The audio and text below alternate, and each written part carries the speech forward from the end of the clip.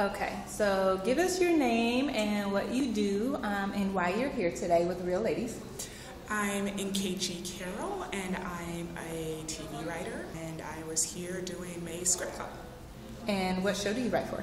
I write for Bones. Okay, what you gave some really really good information earlier about um, I hope so. screenwriting. It was really really good. Um, like I said, we got to do a part two.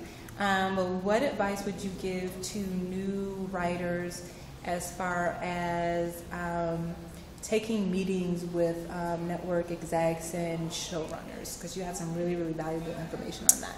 Um, well, when you get to the point of taking meetings with network execs and showrunners, I guess my biggest piece of advice is uh, go into the room and really be yourself. By the time you get into the room, it's a given that you can write or you wouldn't have gotten the meeting. So now it's a question of selling you. You're the product. Do they want to be in a meeting, in a room with you for hours on end uh, during a series? And uh, you want the answer to that to be yes. So be yourself, be authentic uh, and be concise. So know your story, know what you you bring to the table as a writer, and go in the room and sell that.